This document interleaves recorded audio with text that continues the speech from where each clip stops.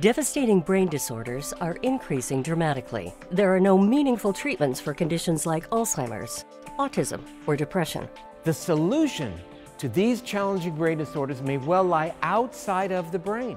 In this program, Dr. David Perlmutter explains the essential relationship between intestinal microbes and the brain, and how nurturing your gut health through a few simple strategies can alter your brain's destiny.